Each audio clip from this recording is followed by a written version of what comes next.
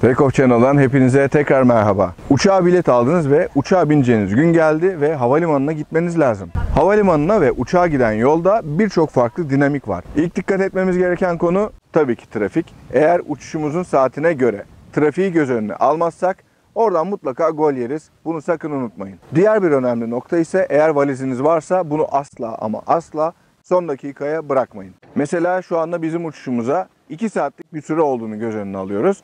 Ben buradan Çamlıca'dayım şu anda görmüş olduğunuz üzere. Kadıköy'e gideceğim. Kadıköy'e uğrayıp oradan Sabiha Gökçen Havalimanı'na gideceğim. Yani aslında böyle şeyler de yapmayın. Çünkü son dakikaya işlerinizi bırakırsanız mutlaka ama mutlaka bir şeyler yolunda gitmez ve uçağınızı kaçırırsınız. Yandex'ten ulaşım seçeneklerine baktığımda Kadıköy'den Sabiha Gökçen Havalimanı'na otobanı kullanıp gitmemi söylüyor ve 45 dakikalık bir süre olduğunu söylüyor. Bunun haricinde farklı alternatiflerimiz de var ama onların süreleri birazcık daha uzun. Eğer Avrupa yakasında oturuyorsanız da Sabiha Gökçen'e yine rahat rahat ulaşabilirsiniz. Özellikle Avrasya Tüneli bu konuda baya baya iş görüyor ve gerçekten ciddi vakit kazandırıyor sizlere. Bunu hemen bir örnekle açıklamak istiyorum size. Mesela şu anda Atatürk Havalimanı'nın dibinden Florya'dan Sabiha Gökçen Havalimanı'na ulaşım için Yandex'e koordinatları girdiğimde bana 54 dakikalık bir süre veriyor ve Yandex'in genelde yanılmadığını da söyleyeyim. 4 Levent ve Kadıköy gibi merkezi noktalardan Sabiha Gökçen Havalimanı'na 15-20 dakika aralıklarla hareket eden belediye otobüsleri de var. Bunun yanı sıra Taksim ve Kadıköy'den de havabüs otobüslerini kullanarak 10-15 TL gibi bir ücret ödeyip Sabiha Gökçen Havalimanı'na ulaşabiliyorsunuz. Onlar da yarım saatlik periyotlar halinde hareket ediyor arkadaşlar. Evet şimdi hep beraber yolculuğumuza başlıyoruz. Bakalım kaç dakikada gideceğiz.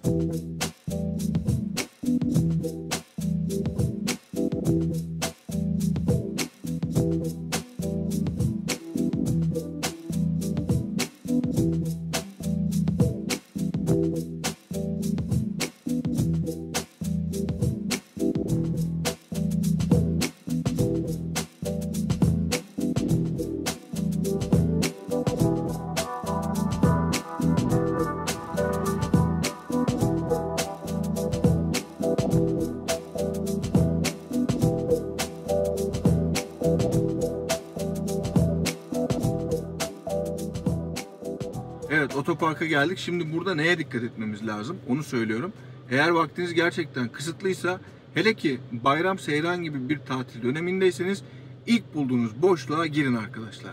Çünkü kısıtlı vakitte bir de yakın yer bulayım işte kapının yanında park edeyim vesaire bunun çabasına girerseniz orada harcayacağınız vakit size mutlaka eksi yazar. Bunu sakın unutmayın. Mesela şimdi kapıya nispeten uzak bir yerdeyiz ama ben buralarda bulduğum bir yere park edersem diğer tarafta arabaya yer aramakla harcayacağım süreden çok daha kısa bir sürede buradan kapıya yürüyeceğime eminim. Bunun haricinde tabi havalimanlarında vale hizmetleri de var. Hatta çeşitli programlarla ortak çalışıyorlar. Size indirimler sağlıyor vesaire. Ama çok yoğun günler haricinde yine dediğim gibi bayram gibi mesela çok ihtiyacınız olacağını ben sanmıyorum. Şimdi park edelim.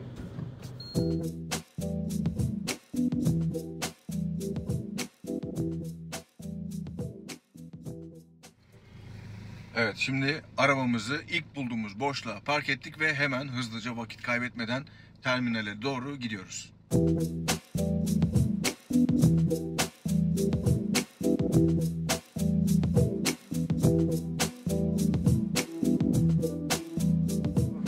Evet arabamızı park ettik. Terminale geldik. İçeri gireceğiz. Güvenlikten geçeceğiz. Peki burada içeriye girmek için en doğru seçenek hangisi? Evet arkamda görmüş olduğunuz gibi güvenlik e, kontrolleri genelde çok yoğun olabiliyor. Ve de bu eğer zamanınız kısıtlıysa size gerçekten bu sırada beklerken ecel terleri döktürebilir. Ama ben size burada şu küçük tüyoyu da vermek istiyorum. Her zaman gidiş katından değil mesela gelen katından da girebilirsiniz. Nispeten biraz daha size vakit kazandırabilir bu işlem. Buraya geldiğinizde yapacağınız küçük bir gözlemle buna karar verebilirsiniz. Bildiğiniz gibi yaşanan terör olayları ya da girişimleri nedeniyle havalimanları inanılmaz bir güvenliğe sahiptir. Peki bu üst düzey güvenlikten hızlı geçmenin ipuçları nelerdir? Gelin size onlardan bahsedeyim. Şimdi mesela buraya geldiğinizde güvenlikten geçeceksiniz.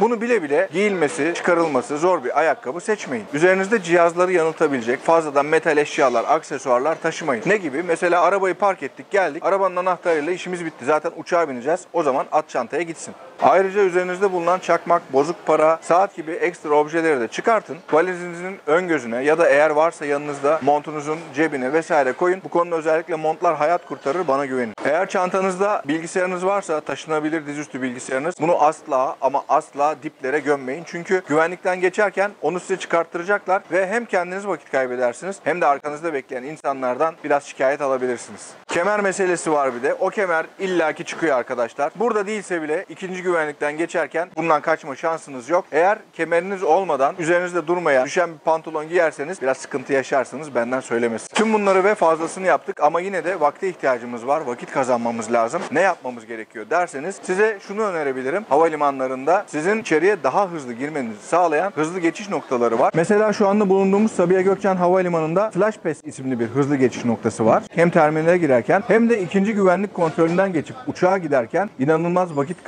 kazanabilirsiniz. Şimdi gelin hep beraber Flash Pass'in yanına gidelim. Hem de bunu bir denemiş olalım hep beraber.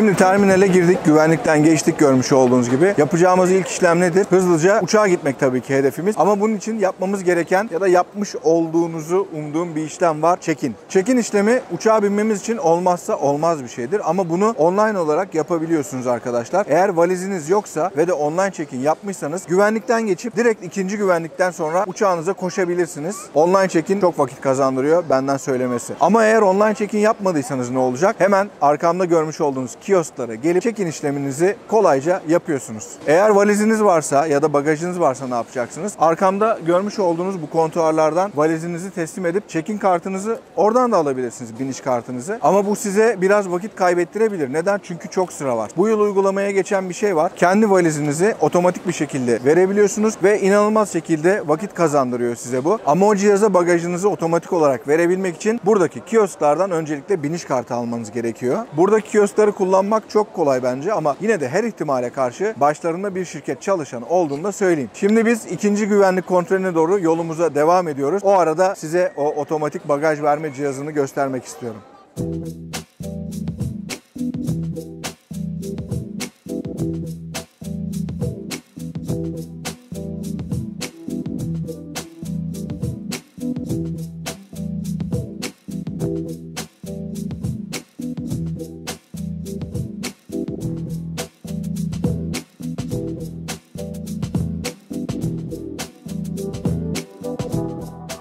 Evet artık geldik işin en son noktasına. Nedir bu? İkinci güvenlik kontrol noktası. Eğer dış hatlar yolcusuysanız bunun adı pasaport kontrolü oluyor. Şimdi burada bahsetmek istediğim güzel bir hizmet var. Sabiha Gökçen Havalimanı'nda bu yıl hizmete girdi bu uygulama. Elektronik pasaport kontrol noktası. Eğer Türkiye'den alınmış bir çipli pasaportunuz varsa ve de 18 yaşın üzerindeyseniz hiç pasaport kuyruklarına vakit kaybetmeyin. Çekin işlemlerinizi vesaire va- valiz bunları yönettikten sonra direkt buraya gelin ve beklemeden uçağınıza doğru gidin. Şimdi burada insanlar bunu kullanmaya yavaş yavaş başlamışlar. Biz de kısa bir göz atıyoruz ve ardından uçağımızın yanına kapıya doğru gidiyoruz.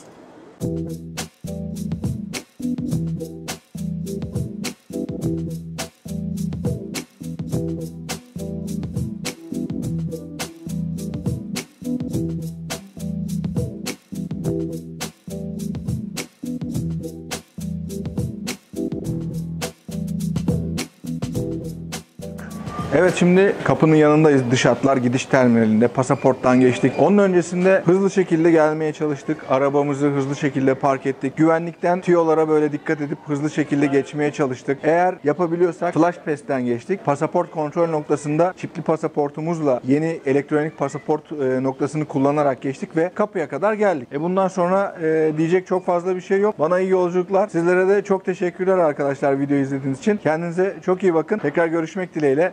Hoşçakalın.